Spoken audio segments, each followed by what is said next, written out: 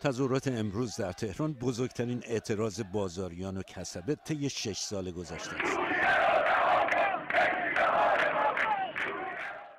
از هنگام این تظاهرات در خیابانهای مرکزی تهران در اعتراض به سقوط ارزش ریال و بگیر و به بندهای صرافان و معاملهگران است من تأیید می کنم نظری را که در آن هنگام اعتراضات تغییر دولت و نرمش ایران را در مذاکرات هسته‌ای در پی داشت. نرمشی که رهبر ایران آن را نرمش قهرمانانه توصیف کرد. امروز حالا اوضاع دوباره بحرانی است. شاید بحرانی تر از شش سال پیش. این موانع رو همین دیروز بود که وزیر خارجه ایران تصویری تاریک از آینده این کشور به دست داد از اوضاع سیاسی و اقتصادی کشور و تهدیدهایی که متوجه ایران است. از اصولگرا اصلاح طلب بیخط مخالف جمهوری اسلامی مخالف دولت هممون توی کشتی نشست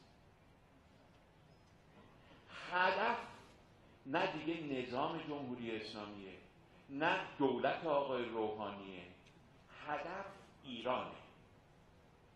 این ایرانه که برای بعضی اهداف و تمایلات مانع. این ایران رو می‌خوان نابود کنن. خیال نکنیم اگه آقای روحانی رفت اصولگرا موفق میشه. خیال نکنن بعضیا. اگه جمهوری اسلامی رفت اونا میان سر کار. در تهران امروز اما شعارها حاکی از آن بود که خیلی ها رهبران و مقام های کشور را مسئول این وضعیت کشور می‌دانند. با تون هایشان با بی هایشان به خواسته های آنها حالا امروز روزنامه تایمز مالی مصاحبه با فائزه هاشمی منتشر کرده. نماینده سابق مجلس که سالها را به علت رکگوییش در پشت میله های زندان گذراند. او گفته است باید قبل از آن که شرایط بدتر شود با آمریکا مذاکره کنیم. هیچ گزینه دیگری نداریم. راه حلی پیدا نشود. کشور ممکن است به سمت فروپاشی برود. او می‌گوید بحران در همه زمینه ها به اوج رسیده و نظام وانمود می کند همه چیز عادی است.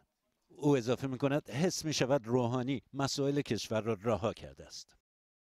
مذاکره با آمریکا را در یکی دو هفته اخیر بعضی از فعالان سیاسی در داخل و خارج از ایران مطرح کردند. چیزی که مخالفانی هم در میان همین فعالان سیاسی در داخل و خارج دارد. کسانی که می‌گویند مذاکره از نقطه ضعف رو توصیه نمی کند اما مشکل اینجاست که وضعیت ایران ممکن است حتی ضعیفتر هم بشود. کسرانجی بی بی سی.